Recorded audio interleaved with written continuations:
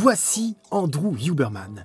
I'm Andrew Huberman, and I'm a professor of neurobiology and ophthalmology at Stanford School of Medicine. Un neuroscientifique qui s'amuse à vulgariser la coco-science. D'aussi son scène YouTube et dans son podcast, il donne à être les conseils pour faire paix toute level.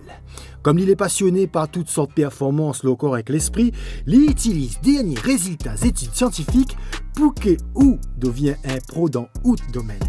Ah là là, son deuxième technique. Ôté Andrew. Première technique, il fallait m'y répète un tas zérir pour apprendre.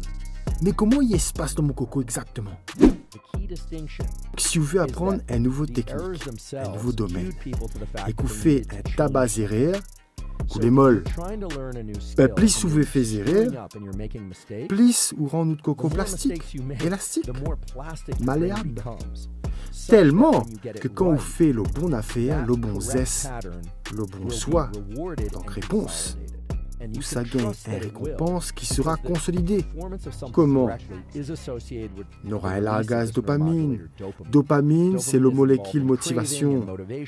à où l'envie encore plus, toujours plus de satisfaction. Ah, ben il suffit de prendre la dopamine en plus pour défouler encore plus, non? Mais attention, my si vous voulez prendre mes docs pour augmenter know, dopamine, 100 milligrams comme par exemple L-tyrosine, 1500 mg de L-tyrosine, ce sera pas bon parce que le delta dopamine, la différence entre le pic à cause de bon réponse et le niveau moyen sera plus faible. Puisque à cause du médicament, well. niveau dopamine est élevé.